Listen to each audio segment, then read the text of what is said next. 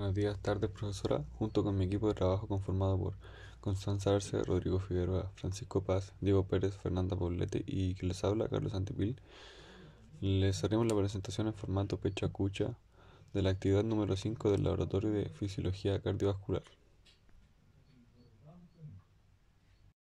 Los principales objetivos de este práctico son definir la resistencia y los principales factores que la afectan y comprender la relación entre el flujo sanguíneo y el radio del vaso, para lo cual explicaremos en qué consiste la dinámica del sistema cardiovascular y la mecánica de bombeo.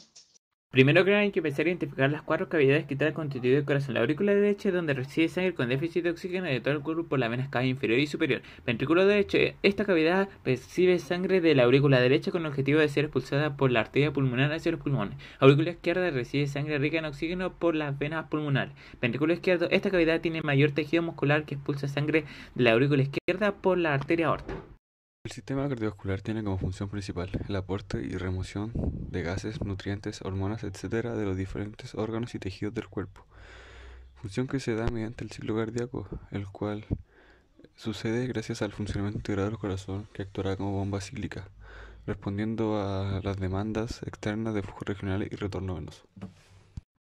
Una de las funciones del corazón es expulsar sangre rica en oxígeno por el resto del cuerpo, lo cual lo hace a base del mecanismo de bombeo. El mecanismo de bombeo sístole, en esta etapa es donde el tejido muscular del corazón se relaja con el objetivo de que entre sangre rica en oxígeno por las venas pulmonares y sangre con déficit de oxígeno por las venas cava inferior y superior. Mecanismo de bombeo diástole. En esta etapa es donde el tejido muscular del corazón se contrae, lo cual genera dos mecanismos. Uno, la sangre salga del ventrículo derecho por la arteria pulmonar hacia los pulmones con el objetivo de que la sangre sea oxigenada. Dos, salga sangre rica en oxígeno del ventrículo izquierdo por la arteria aorta para que sea repartida por todo el cuerpo. Entender como el gasto cardíaco como los litros por minuto que bombea cada ventrículo durante la sístole.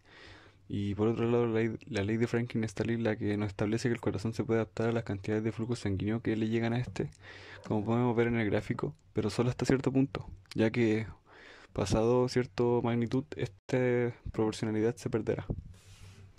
La resistencia es una medida del grado con el que el vaso sanguíneo se opone o se resiste al flujo de la sangre. Los principales factores que la afectan son el radio del vaso sanguíneo, la longitud del vaso sanguíneo y la viscosidad de la sangre. De estos tres factores, el más importante es el del radio del vaso, ya que los otros dos factores se consideran como constantes, a diferencia del radio del vaso que puede variar con mayor facilidad. Para observar el efecto del radio del vaso sobre la bomba, realizaremos el siguiente experimento en el cual tenemos presentes tres recipientes, donde el primero representa la sangre que viene de los pulmones, el segundo el lado izquierdo del corazón y el último representa el resto de nuestro organismo.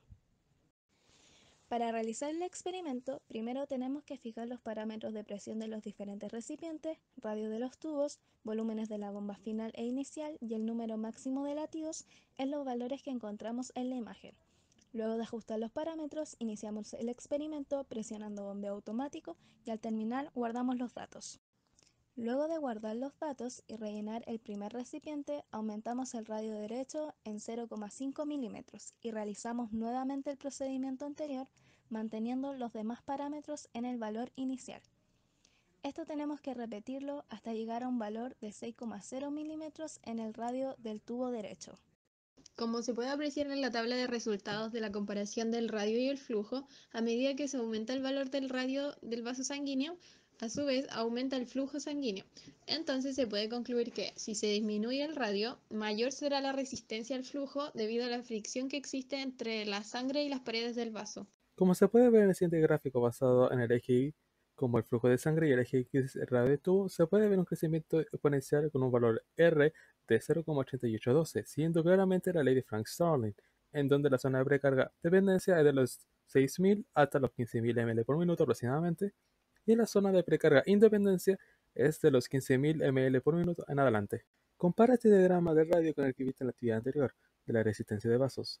Al comparar estos dos gráficos de flujo versus radio, podemos ver que la actual mecánica de bombeo posee valores de flujo de sangre muchísimo más altos, además de llegar a un tope.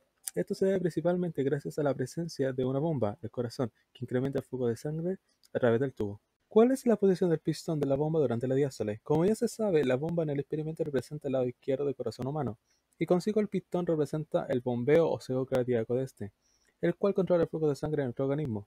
Cuando el corazón entra diástole, esto significa que está relajado, aumentando su tamaño y recibiendo sangre para después expulsar. Esto es lo mismo que tener el pistón elevado. Como ya se sabe que, la bomba en el experimento representa el lado izquierdo del corazón humano, y consigo el pistón representa el bombeo o ciclo cardíaco de este, el cual controla el flujo de sangre en nuestro organismo, esto se traduce en que el corazón está en sístole. Significa que se contrae, bombeando la sangre al organismo, que el pistón está abajo en la bomba. El recipiente a la derecha de la bomba es hacia donde se dirige la sangre inmediatamente después de la sístole. Por consiguiente, podemos decir que el recipiente a la derecha representa el resto del organismo. Describe la relación entre el radio del tubo derecho y el flujo. Como se puede ver en el gráfico y tabla de datos mostrada, mientras más aumenta el radio del tubo derecho, más aumenta el flujo de sangre, haciendo los valores directamente proporcionales entre sí, viéndose un claro aumento exponencial en el gráfico, llegando a un punto en el cual hay muy poco aumento, alrededor de los 15.000 ml por minuto, siendo por ley Frank Sarnen la zona de precarga independencia.